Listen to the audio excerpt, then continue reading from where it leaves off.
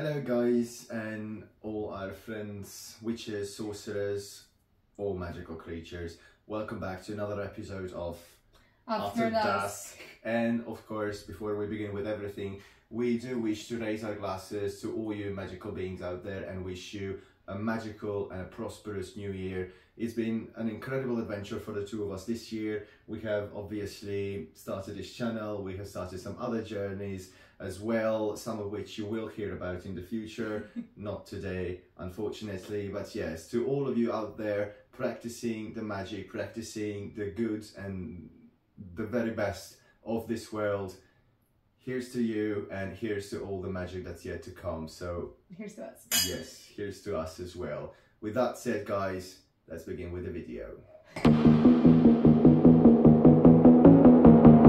Okay, guys, we are back uh, here and with a yet another very interesting topic, I would dare to say. And maybe Sammy could shed some light upon what we will be talking about in this specific video. So today we will be discussing a term that has actually occurred due to the online community of witchcraft, which is being in the broom closet.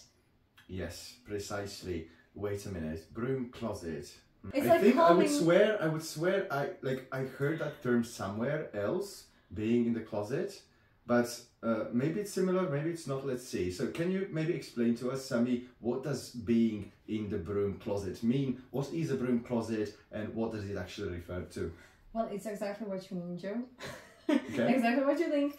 It's not being comfortable with either setting up for your practice, for your for your spiritual beliefs, or not being uh, comfortable with displaying them. Sometimes you would be comfortable, but your surroundings or your local community Yeah. would actually it would expose you to to certain level of danger, in case you decide to be open about it. Yeah. And that still happens today, believe it or not. It does happen. So just to sum up, if I understood you correctly, just for our baby witches out there who might be new to the craft and haven't heard the term before, possibly, or just some of you who might need some further explanation, being in the broom closet is basically not feeling comfortable or even allowed in some cases to share the fact that you are practicing, that you are in the craft, that you are basically a witch. Uh, so that thing that would actually be the, the summary of it. So that we've got that covered, let's talk a bit about some reasons because there are obviously millions of them. Each of us is an individual person, they have their own reasons, but there are some reasons that are most repetitive in the sense that they are the most common for which then people choose to stay in this so-called broom closet. And uh, Sammy, what would some of those reasons be, for example? Uh, well, suffering the, the consequences of coming out. For example, if you are living in a very uh, clo- close up community that is uh, that is considering that kind of thing controversial, you might uh, suffer uh, your job loss. Uh, uh, maybe if you're living in a rental, you could get kicked out, uh, or just being denounced by your family members.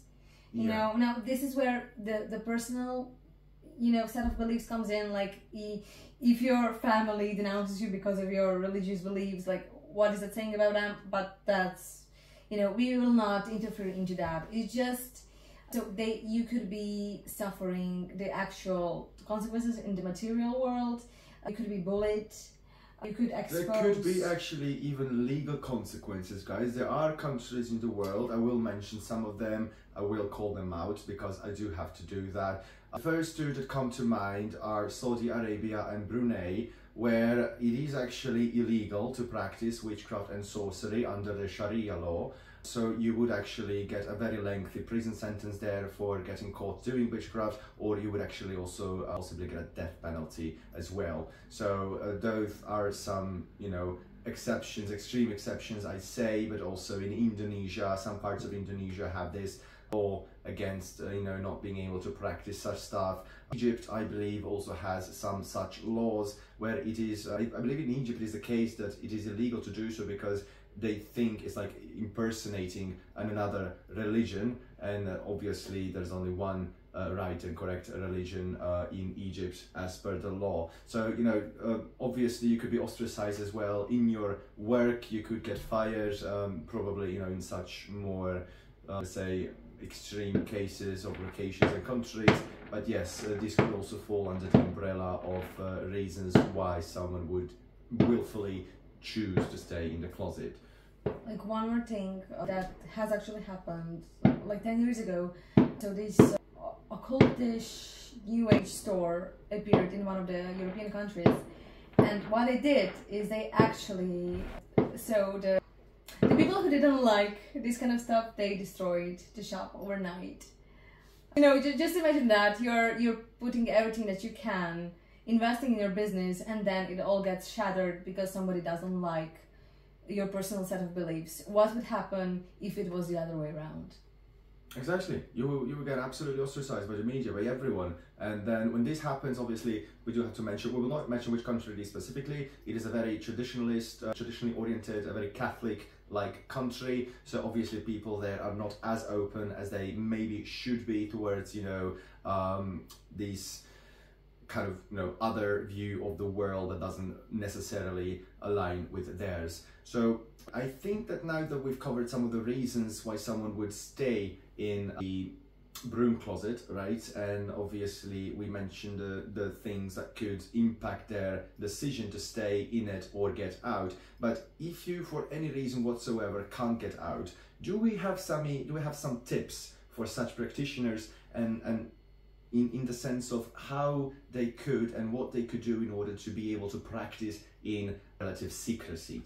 Yes, uh, well, it's it's connected with other parts of your craft. It largely depends on how your practice looks like. So if you do not have a permanent altar, that will obviously help, because you don't need an elaborative or even you don't you don't even need an altar to practice your craft. You know, you can just do so with a simple candle if it, it, it could be a yankee candle you know uh, which for example your mom may not be suspicious of that you know. Uh, it's uh, and, and, this is i think this is why the, the whole phrase that intention is everything maybe got so popularized because you know uh, you can do witchcraft to some extent or you could do more elaborative rituals that that require mm-hmm or specific tools in nature or somewhere in isolation. You could travel somewhere where it's more acceptable to do it. For example, if you have, or if you have a vacation home, obviously not everybody can do it. Uh, but maybe you could travel to a relative that is open-minded about it or something like that. You know, yeah. uh, there are small ways like this. You know, you just need you need to start. You need to remember yourself to to really to research ways and practices of witchcraft that are not dependent on materialistic tools.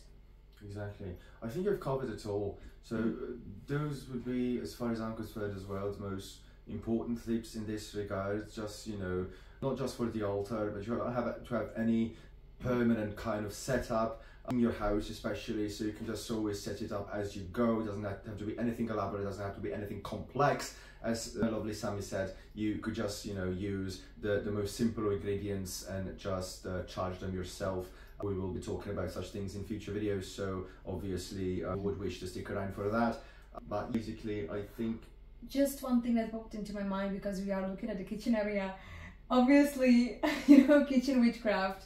You can work you can work with herbs in your kitchen yeah. without being suspicious because okay it's just you cutting garlic yes obviously. So if you have like um, a shelf um, or a chest thing full of jars filled with you know different herbs in your room and your mum or dad finds it and they're not too keen on this whole aspect of witchcraft that's going to cause you trouble but if you just here and there, when you want to do a spell, want to perform a certain ritual, if you just go into the kitchen and steal some spices from uh, your mom, uh, you know, some basically those that you can buy at every supermarket, that would also work as well. So they work just as well. They might not look as fancy as the ones you might be seeing in other witches uh, videos, you know, those on TikTok or here on YouTube, but they do work. So it is all about the intention, or most of it is about the intention behind what you're doing, uh, which is something that we have already partially covered, but also we'll talk about a lot more in our future videos. So with that said, do you have anything more to add on the topic, Sammy? I think one thing that they're all wondering is should of course I do no. No, this should is a good they thing. like should they get out of the broom closet if they are in one? I think the only correct answer here would be it depends. We can't give you an ultimate no, we can't give you an ultimate yes, you know, it all depends. It depends on your circumstances, it depends on your own personality, it depends on a lot of factors, but in essence, you are the only person that can decide that for yourself. So we are here that can maybe help you with some tips, with some tricks, and maybe help you find and guide you towards this path of, um, you know, where it will be easier for you to come out but we can't do it for you. So whether you will get out, whether you will want to get out or not, it's all on you. And you know, you can actually reach out to us. You can reach out to other online witchcraft communities for assistance, for help. Uh, is ultimately the decision that you will have to make yourself.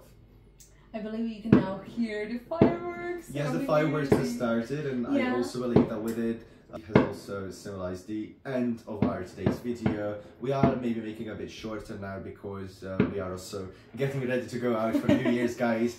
And uh, that said, please, if you haven't already, like this video, comment below your thoughts on being in the broom closet. If you have any personal experience with that aspect of witchcraft and obviously subscribe to our channel and turn on that goddamn bell icon so that you get notified immediately after we post some new content yes, I think it's time to raise our glasses, guys, and Happy New Year's, and we wish you all the best.